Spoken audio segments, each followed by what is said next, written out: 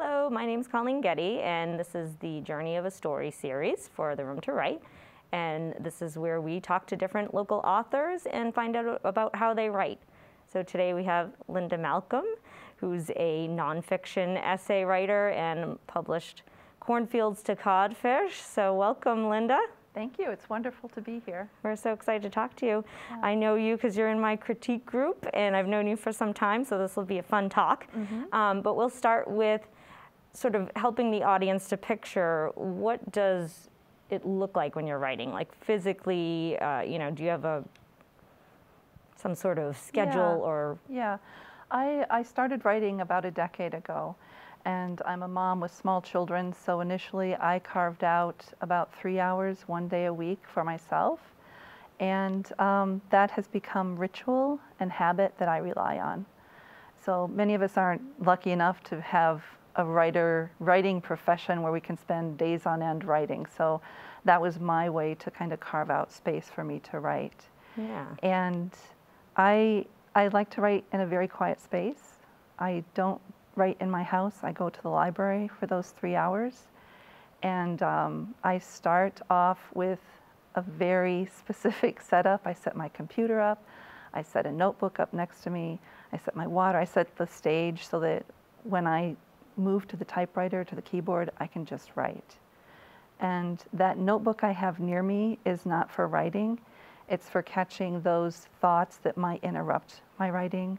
Mm. Um, if I'm focusing on a, a paragraph and suddenly I think I didn't make that appointment, that notebook is there to catch that. And then I can just quickly shift back to what I'm really doing that day. I love that. That is awesome because so many, especially you know, moms or people that have various things going yeah. on.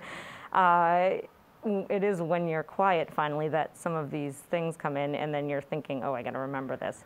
Yes. I think that's an awesome sort of dumping ground. it is. Uh, and that's a great technique. Mm-hmm. And how did, did you always do that, or was that something you started to just come up with?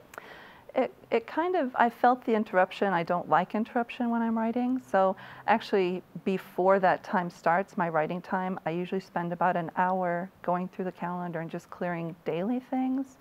Mm-hmm. Um, I would drop kids off at school, go to a coffee shop from 8 till 9 o'clock, which is when the library doors open. So mm. that hour, I would clear everything out, clear calendar, and just in case I didn't get everything done in that hour, that's where the notebook came in, so I could um, jot down anything that was pressing. That's awesome. And it sounds like you treat your time for writing with the utmost respect, which I think is a real challenge for a lot of writers. Yes. Um, and, you know, do you ever, what do you call it? Like when people say, oh, can we meet at this time or can you do this?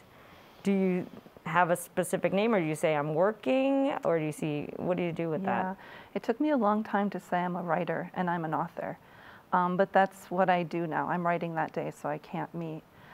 I'm also, my, my strongest writing seasons are fall through spring. And summer gets a little hairy, so I know if Tuesday's the best beach day, you won't find me at the library. So I, I, acknowledge there's an ebb and a flow too, but generally if I'm in the writing season of fall, winter, spring, I will, I, I protect that Tuesday morning. Good, and mm -hmm. so obviously we're in the age of COVID right now, yes. hence our beautiful face masks. um, so I really would love to hear, how did, because you said you went to the library, uh, how did that the fact that the library wasn't even open for so right. long and you know cafes weren't open even or you couldn't sit in them. Uh, how did covid and only not that we want to talk about covid but how did that change your schedule? And because i think for a lot of artists and writers and creative people uh, sometimes they said it was a great time for creativity. Others yeah. like myself uh, it kind of put the kibosh on it. So maybe talk a little bit about how you dealt with that yeah, I would say it affected two things. It affected the schedule, obviously, because I couldn't go to my place, and it also affected creativity. So schedule-wise, I tried to, once we got settled a bit, um, find little nooks in my house. Um, you know, the basement, a closet. Just looking for somewhere where I could find um, a place with very few distractions. I'm very visual um, with uh, with all the senses. I, I explore the world through my senses, and that's where I get my writing. So that's one of the reasons I go to the library because there are no distractions there. Um, and having said that, my writing relies on experiencing the world, and that's where I get ideas. So a lot of that felt very tamped down. Mm. Um, so what I did do, I focused a lot on sensory in my house, you know, turning to cooking and maybe writing a 600 word essay on how to make salad dressing, you know, going through the very uh, sensory oriented process of that and talking about maybe memories associated with it. So initially it was very kind of deer in the headlight what am I going mm. to do? Um, but I found moments of inspiration along the way. And so when you you have such a ritual at the library, mm-hmm. did you recreate that at home or you were you just sort of like whatever I can get down, I'll get down or did you still try to sort of put yourself in that mindset? I tried to do time and day and place as much as I could. Um, I gave myself a little break because sometimes it was just so different. Mm. I didn't, I have a website where I have hundreds of essays that I've published over the last 10 years. Um, so there aren't as many essays in those months. Mm. I, I, strive to write a, an essay a week during fall to spring, um, and that wasn't happening as much during COVID. But I realize that, and I think as part of being a writer, um, I know there's an ebb and flow to my writing, and once I accepted that the same thing was happening in that strange little period we were in, um, I, I, became creative again. Oh, good.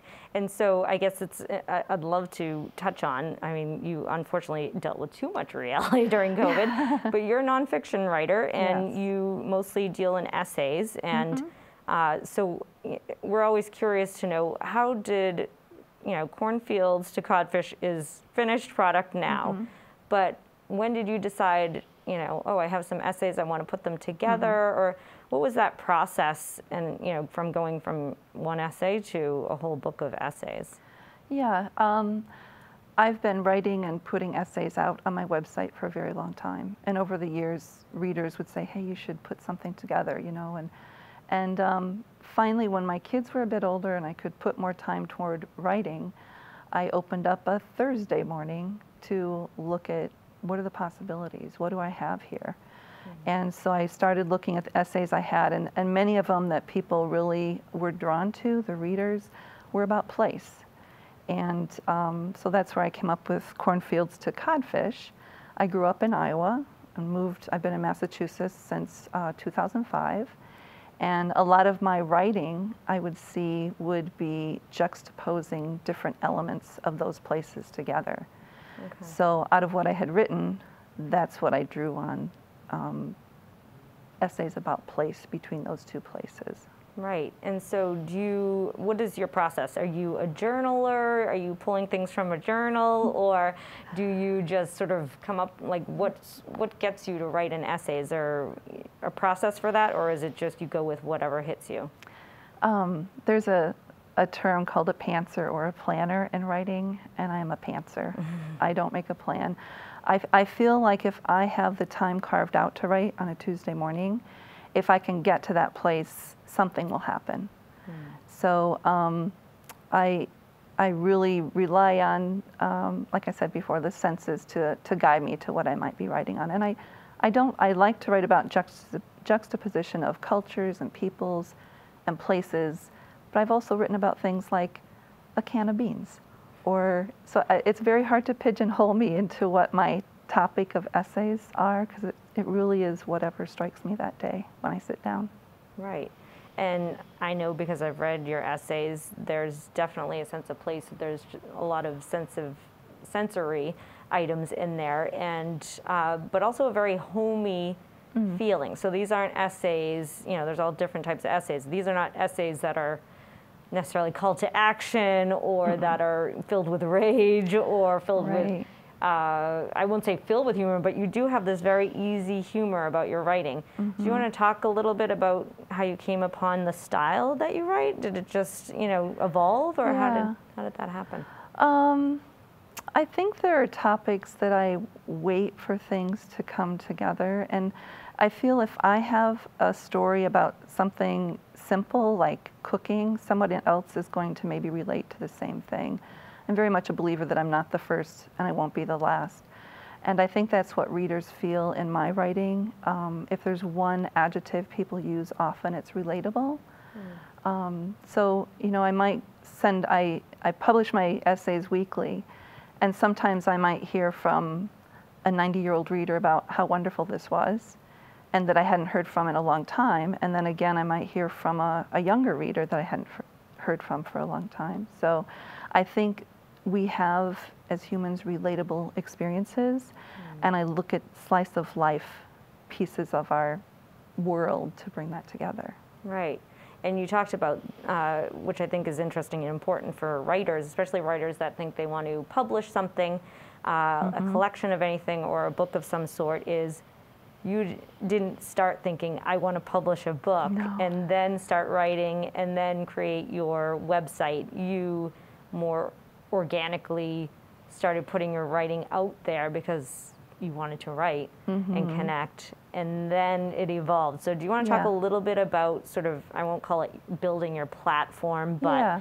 uh, kind of uh, more of a genuine evolution mm-hmm. to the end product versus almost starting with the goal is the end product and then yes. working backwards. Yes. So I started writing consistently in 2009 when I was diagnosed with breast cancer, and I'm, I'm fine. I made it through treatment. All, all is good now. Um, but I, we are here with no family around us, so I started writing essentially letters to people, to family in Iowa, to family in England, to let us know what what was happening in life. Hmm. Um, and then after that, about six months into that, they started being less um, this is what we're doing today, and more reflective. And that's really when I started writing essays. Was and what when, does that mean when you say more reflective? Um, if, if you wait for time to pass, I think of journaling as a time when you maybe lay out a lot of bare feelings and emotions. And I don't journal.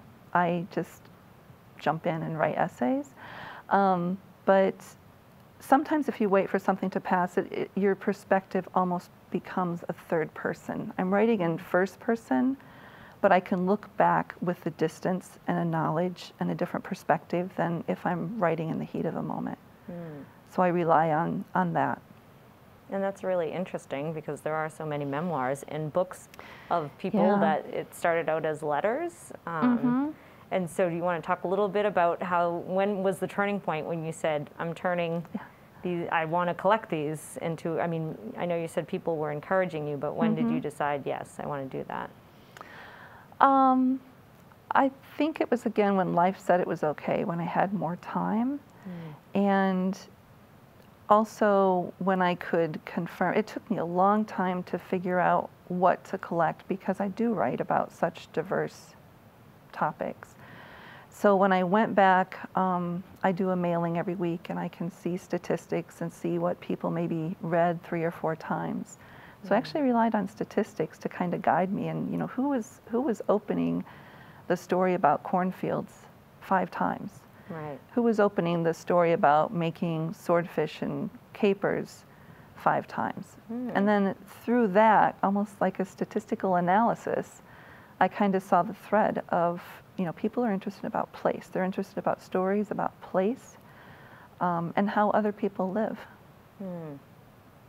And so, what maybe walk us through for people that are like, what does she mean, statistical analysis? Yeah. uh, how does one go about doing that? What yeah. did that involve? And is there a specific uh, program you use or, or whatever? Yeah, I use, um, I've used a couple different email services over the years. And with those email services, I can look at the stats, literally how many people have opened something, mm-hmm. um, if they've opened it multiple times, if they've moved into my website and had a look around. So it's a service provided with the newsletter. It's it's nothing I went out and tracked. It was very lovely laid out for me, so I could kind of find the the uh, patterns. Okay. And so you're writing essays. Uh, how did you get people to become your part of your mailing list? I mean, I know sometimes people are like, "Oh, I love to do that," but How do Yeah. I get people to actually read these things? I uh, initially it was grassroots, so to speak, because I was writing to people I knew with through those letters, and then once I became um, more comfortable, I got used to saying, you know, if someone asks what I did, oh, I'm a writer. If you give me your email address, I'll send you, you know, my weekly essays to have a look at. So I had a base, and then I just have slowly added onto it. All right. And so here we are with a book. Uh, you want to talk a little bit about what it's like. You're a self published author. Yes. Uh, maybe a little bit about what you thought it would be like, and if there's anything that actually reality didn't live up to or exceeded. Yeah. Uh, maybe a little bit about that whole experience. Okay. I did a lot of research on how to publish and where I was, I wanted to be published. I wanted to be published quickly. So I chose rather than finding the people and the support of a publishing house, I decided to do it on my own. And I knew with the followers, I had have about 300 people that I send to weekly. So I thought if I self-published, I was pretty confident with people following me that long that I would be able to sell some books out of the, you know, right away. Um, yeah, so that's where it, it started. I, I looked for, um, I, I also wanted to have control and I wanted to have human contact. So if in the self-publishing houses I looked at, if people didn't return my call or weren't, you know, as attentive, I, I went on until I found someone where I could talk to a real person that supported what I was doing. That still exists. um, so you get the books in your hand. What's that feeling, and what happens next? Yeah, that was pretty exciting. Just uh, um, I they were delivered in November of 2019 to my house, and with self-publishing, my book is still available through warehouses. So, independent bookstores can order any independent bookstore can order it for their clientele, and I also have some that I can sell on my own. So, what I did, um, I tapped into a local festival around the holidays, and that was my book launch locally, so to speak. And then I went to Iowa, and um, there's a gift store there was that graciously invited me to have a book signing right around the holidays, and uh, that was that was phenomenal. That was where I reconnected with a lot of friends. My fourth grade English teacher came Wow. and purchased a book from me, and so um, Did she mark it up? Yeah, Yeah. so I had a really good, strong launch. And I think the difference now is I, I have a very warm audience who have purchased my book. So the tough part about self publishing is now it's on me to go out and create new audiences. Um, I am the marketer, I am the person to distribute.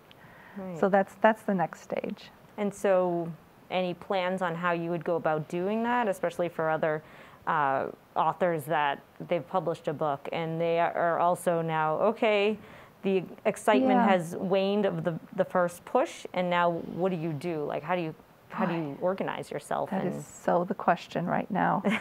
um, it, so it, my launch came right before the pandemic closed everything down. So I've had lots of time to think about this.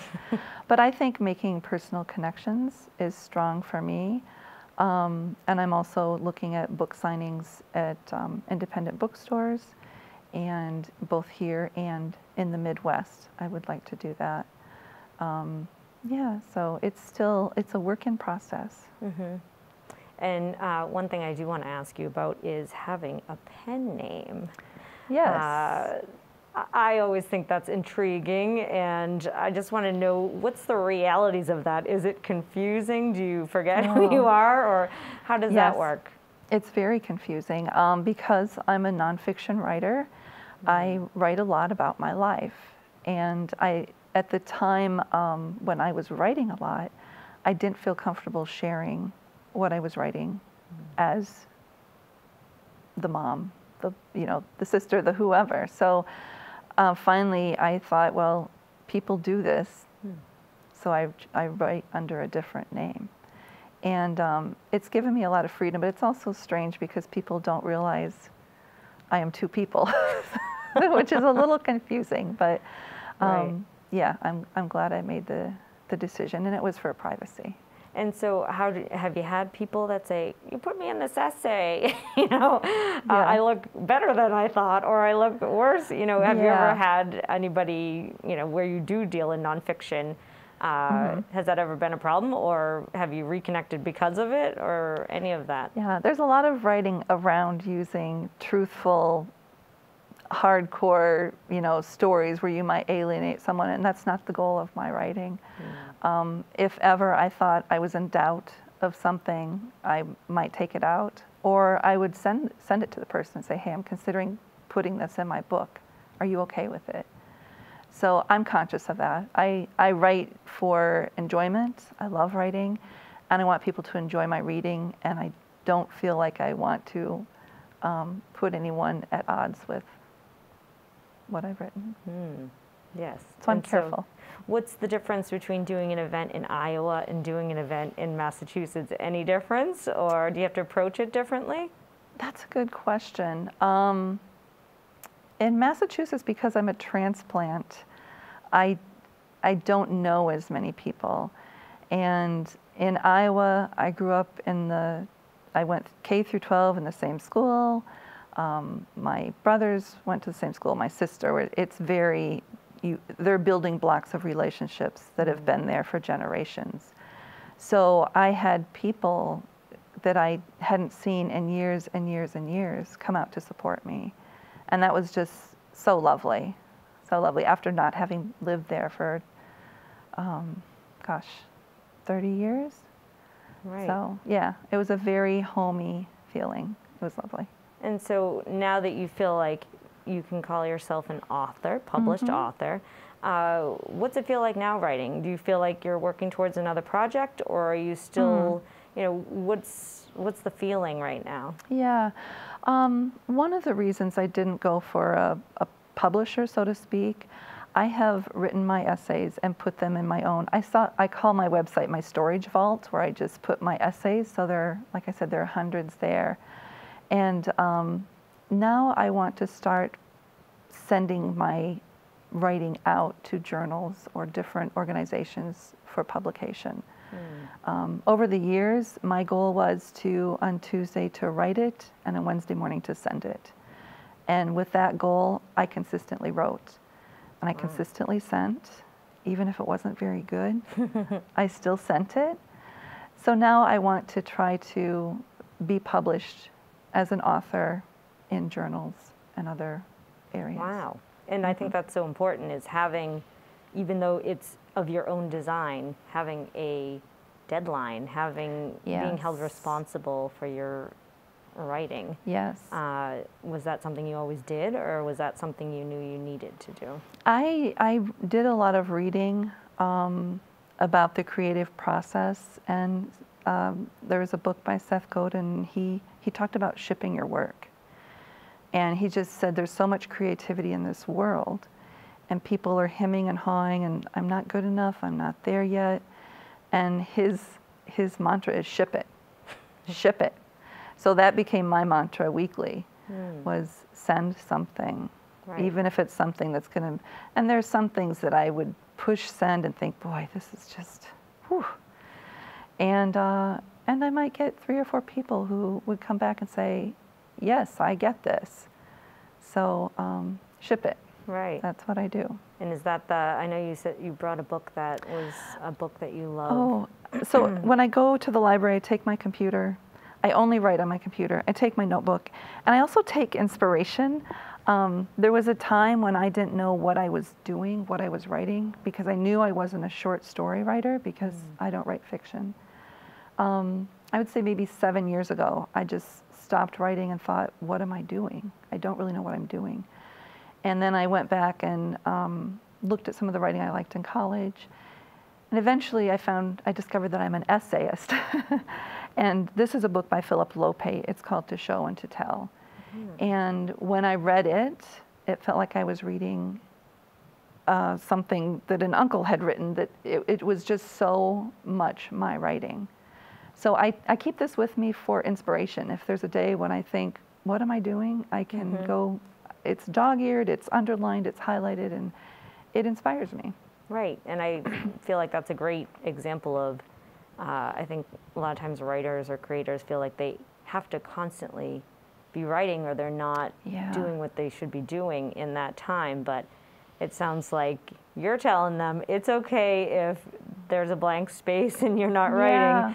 Uh, maybe you're taking other things in. And Mm-hmm. so, do you find yourself? Do you have a rhythm where you're flat out writing, or do you find that there's times you have to? Yeah, if I feel I'm struggling about what is it, where am I going with this, I do go back. Not oftentimes with the writing time, I leave it as it is. But if I want to pick up um, something to read in an afternoon or something, I might go back to this. Um, I read, excuse me, I read a lot of fiction for enjoyment, and I read a lot of um, several things writing about writing. So I don't necessarily write, read a lot of nonfiction, so to speak, but I read a lot of how to, how I did this Right. to get ideas. And speaking of nonfiction, do people Mm-hmm. say, you know, oh, hey, what's that book you wrote? And then when they hear it's nonfiction, does is there ever a change, like change? Yeah. Oh, it's not. You know, what's the reaction to? Because I haven't spoken to a lot of authors who write Right. nonfiction, let alone essays. Are they surprised by that, or are they turned off, or turned on by that? Yeah, it's a struggle in how I market what I do because I am an essayist. But my readers say, I love that story. I really love that story. Or that story spoke to me, or the story, story, story. So um, while I'm a nonfiction writer, I'm also a storyteller. Hmm, and I think that's important because Yeah, that is what people are doing, whether it's fiction or nonfiction. It's passing stories on, right? Whether right. it's writing or art, or Yeah. you know, at the end of the day, you're trying to get across yes, a story. yes. And Well- I think that came, came across most. My, I have, uh, she was eight at the time when I published this.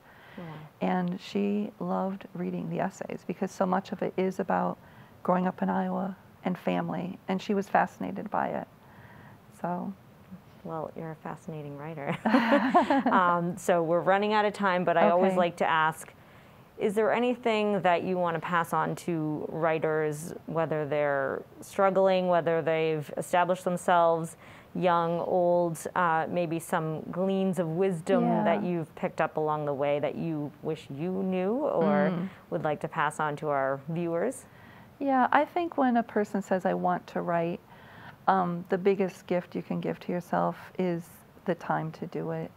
And to, I, I'm very much in a habit of giving myself time. But if you want to write, I think that's the first step is making the time. Whether I take three hours to do it, maybe you have an hour, maybe you have a half hour, maybe you have 15 minutes in the car.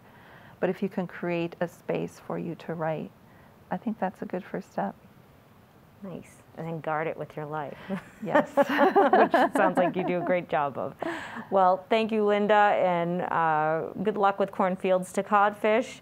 It's a wonderful, sort of heartwarming group of essays for a time when you need a nice Yeah. cup of soup and some nice stories for a change. So, thanks for coming in with us. And if you would like to be part of the journey of a story and you have a published piece of writing, uh, feel free to contact me at www.theroomtowrite.org.